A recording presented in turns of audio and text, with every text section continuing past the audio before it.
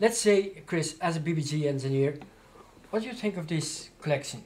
I'm very impressed with it. You are. I'm just, you know, my jaw sometimes is dropping. I don't know where to start, where to sp- finish looking.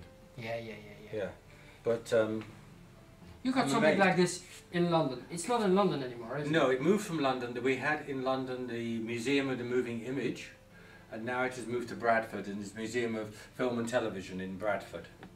Yeah. And uh, the, the the frightening bit is that when I go to the museum in Bradford, I'm seeing equipment that I worked on. Oh yeah. So that is worrying for me. Yeah.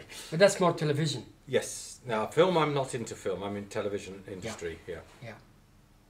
So there is some television camera here, a bit like what we are using. These Yeah. cameras here further along. That's right. Yeah. Yeah. And some of these I remember.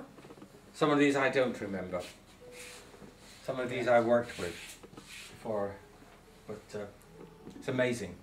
It's amazing, isn't it? Yeah. Yeah. And then you look around here, and there's other things which I've just seen something which I, which I have not seen before up on the higher shelf.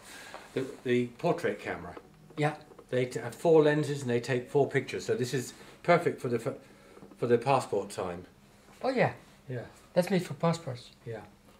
And then the other cameras.